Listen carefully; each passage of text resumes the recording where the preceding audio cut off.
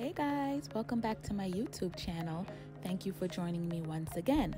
Today we are going to be talking butter. Now, if you go into your dairy aisle in the supermarket, this is something similar to what your aisle may look like. You've got all kinds of butter, all kinds of brands. Some are better for baking, some are better on toast, some are just better in general. There's all kinds. Some are heart healthy, some are not. So, I want to show you uh, the different types of butter that I have and the ingredients. So you see, most of the butter we use are vegetable oil spreads. This one has a bunch of ingredients in it. There's water, soybean, soybean oil, vinegar, flavors, all these type of things you can't even pronounce. And then you have the pure Irish butter. Take a look at these ingredients. Pasteurized cream, salt, and milk. That's it. And this is going to be your purified butter. Now, I'm to flavor my butter today. You really only need one ingredient, but I really want to make some herb and garlic butter. So I am just going to roast one head of garlic, put it in the oven with some olive oil on top on 400 degrees. I'm to leave it there for 15 minutes and this is the finished product. You got your roasted garlic. Skip over this part if you only want to make butter.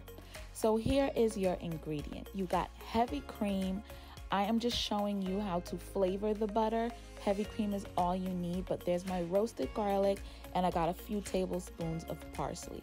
Now you want to pour the heavy cream into your mixing bowl. This is one and a half cups of heavy cream. Start mixing with your hand mixer. Let it gyrate. Keep it going, keep it going. And the key to doing this is to blending it really fast on like maybe a medium uh, number four on that hand mixer. And what you'll start to see is that the heavy cream is going to start to get thick. As you can see, you are getting the stiff peaks, which is exactly what you want. Keep blending, keep blending, and now look what you've got. The butter is starting to separate. It's starting to get a lot of thicker, and you're going to see the buttermilk form. This liquid here is the buttermilk.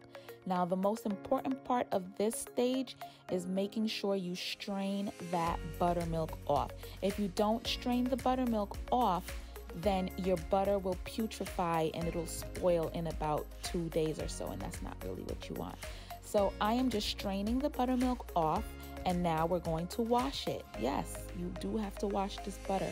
You gotta wash all of that buttermilk off because we really don't want our butter to turn sour. You can do this multiple times. I did this about two to three times just to make sure I got a lot of the buttermilk off. So continue rinsing, keep rinsing. And now what you really want to do is shake it off. Go ahead and vibrate it from side to side. Take it back over to your mixing bowl.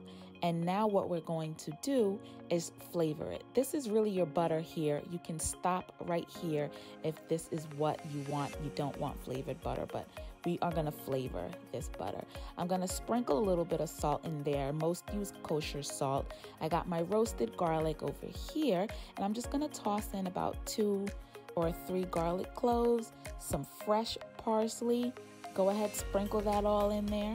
And now I'm just going to work the garlic and the parsley into the butter using my hand. Now, what I want you to do is grab some parchment paper and roll the butter inside of it. And this is going to give it a nice form so that you can slice the butter into cubes or however you choose to do it. I just use parchment paper and now you're going to roll it up like a candy, roll it real tight, and now your butter is ready. That's it.